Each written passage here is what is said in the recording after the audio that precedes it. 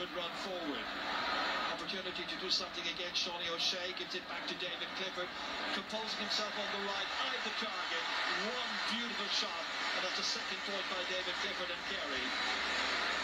Well, the bad news for the Dubs is that Johnny O'Shea, in particular, and just behind him, David Clifford, are absolutely alive to everything that's going on in this game so far.